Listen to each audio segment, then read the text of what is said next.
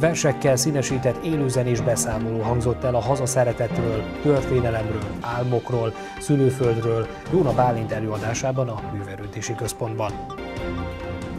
Jó estét kívánok, szeretettel köszöntöm kedves nézőinket! Önök Nárási Krónika című műsorunkat látják.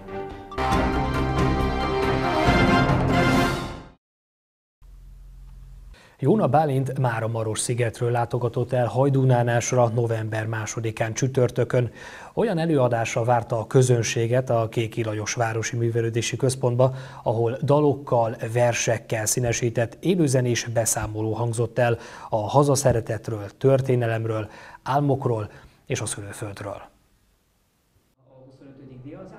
Akik ellátogattak 2017. november 2-án a Művelődési Központba, igazán sok oldalú előadóval találkozhattak. Jóna Bálint Máramaros szigetről érkezett városunkba Jóna Sándor meghívására, aki évek óta foglalkozik családjuk kutatásával. Egy véletlen alkalom kapcsán találkoztak, a beszélgetésből barátság alakult, így került sor erre a fellépésre is. Körülbelül századforduló óta foglalkozom a család kutatásával, elsősorban a saját család és a hagymási családok feltérképezése volt a cél, de aztán hamar kiderült, hogy itt nem csak a észak-keleti Jóna vonulat lehet érdekes, hanem Kárpát-medence szerete fordulnak elő Jóna családok. Nyugat-Dunántúlon katolikus vonulat van, az észak-keleti részen pedig reformátusok vannak és több kisebb szigetet is sikerült fölállni a délvidéktől egészen a Párcimi részig. És mivel rátaláltam Bálintra, és ebben nagyon partner volt, és több segítséget is adott nekem, hogy a, Párcimi részt is kutatás alá legyen.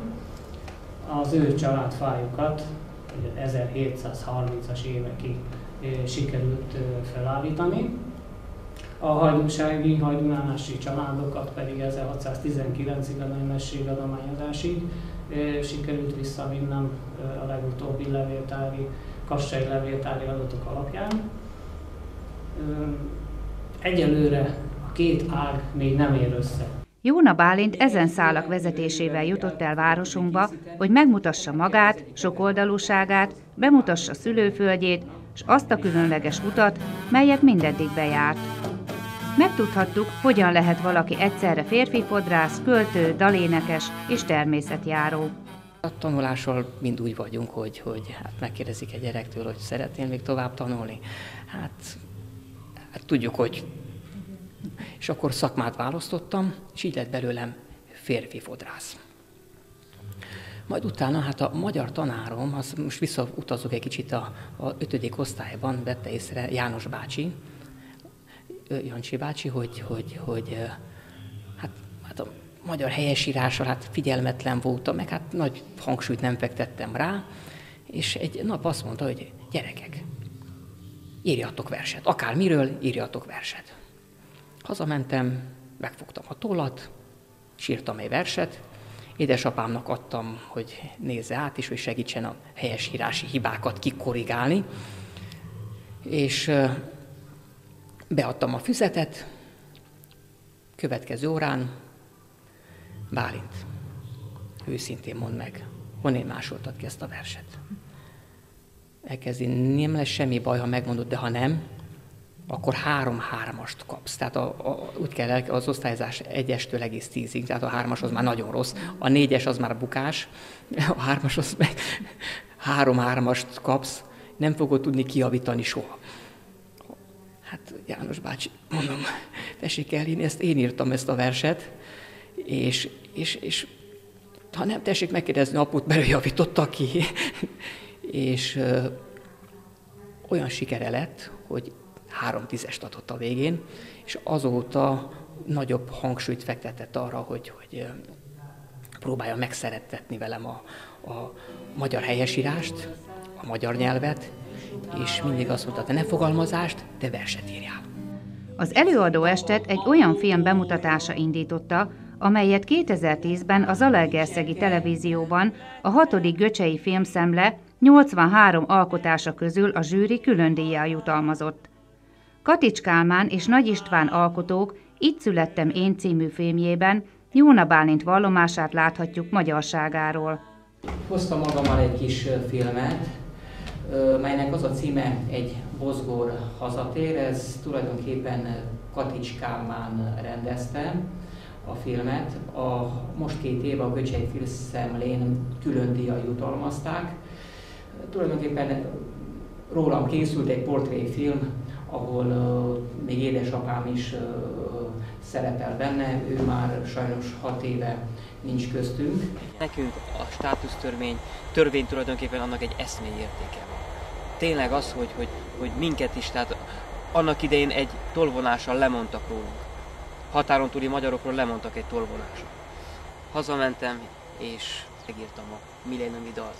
Tehát nem is kellett gondolkozzam, mert hát az, az, az már olyan érthető volt, hogy, hogy, hogy, hogy miről szól. Tehát, hogy mind a refrény is, hogy 15 millió szétszórt magyar ember legyen újra egy, és nagy a magyar nemzet. Úgyhogy erre vártunk, erre a pillanatra vártunk már jó sok ideje. Az előadó esten olyan dalokat hallhatott a közönség, melyeket Jóna Bálint a Máramarosi Igric több helyen is bemutatott már. A Duna Televízió Hazajáró című műsorának csapata az 56. részben Máramaros környékén járt. Ebben az epizódban utitásként állt melléjük Bálint, valamint ebben a részben a Tisza című dalát is előadta. A gitár mellett egy különleges fúvós hangszert is láthatott a közönség, melyet az előadó egyszerűen csak dúdolónak nevezett. Máramarosi havasokból ered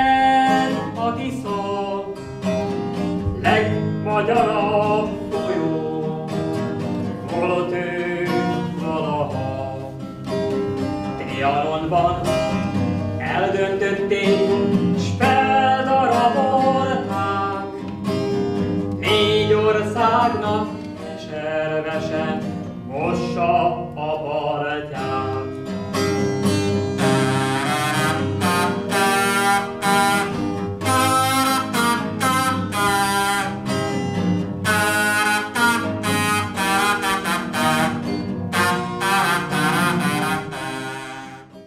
A természet szeretete, a szülőföld nyugalma, a magyarság tudata sok mindenre megtanította a fiatal előadót, melyel példát adhat a felnövekvő nemzedéknek is. Ez a legfontosabb, hogy olyan helyen születtem, lehet, hogy magyarnak nem könnyű meglenni.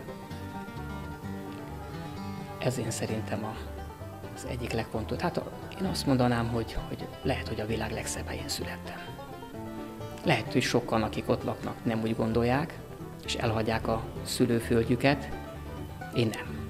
Én ott maradok, nem hagyom el, és ezáltal is próbálok tenni azért, hogy igenis érdemes ott maradni, érdemes ott magyarnak él, meglenni, mert hogyha az ember végzi azt, amit kell, akkor mindenki megbecsüli.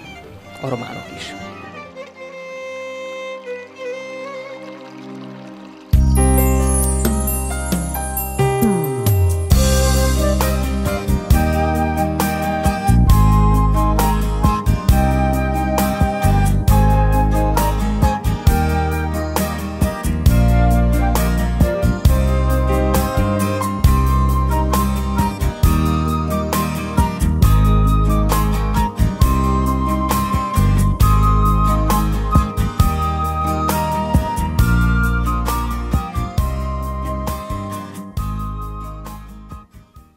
Most pedig kérem tekintsék meg, melyek voltak a Nánási Krónika eddigi témái.